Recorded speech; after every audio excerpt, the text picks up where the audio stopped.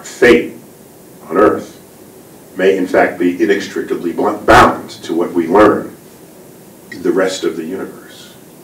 I think you'll find that most scientists have very strong interest in fields that are not even science, because it's just a manifestation of a curiosity.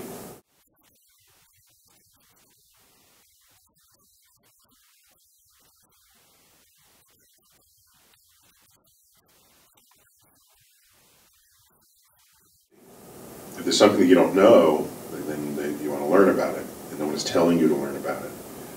You know there's no grade associated with it, you just do it. And so, uh, this is how you, you you lead an enriched life, I think. Most of what you will ever learn in life, if you are curious, will be greater outside of school than in, within school.